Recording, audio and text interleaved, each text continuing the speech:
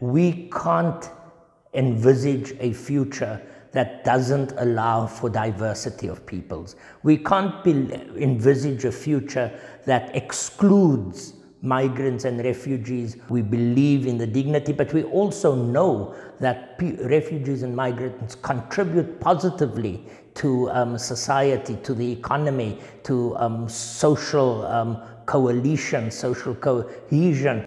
If solidarity can't just be a word, it needs to be a concept that's implemented. And if we don't implement it with people who are marginalized and on the periphery of society, then it's meaningless. We can't envisage um, excluding those people and not drawing on the richness that they bring to us. But it's a challenge to look at all the areas of, of legislation, whether it be economics, whether it be the extractive industry, whether it be how we um, draw up a budget to include those who are vulnerable and marginalized, and especially those people who are on the move.